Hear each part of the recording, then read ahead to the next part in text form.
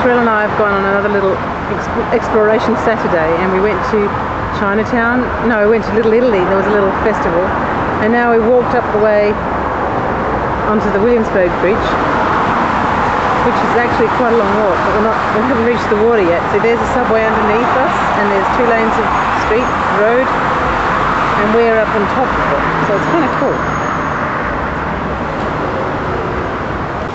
And there's the traffic going into New York. So I think the train we're probably much faster. Oh, here's a train coming through, it tells me. Look at the train motor.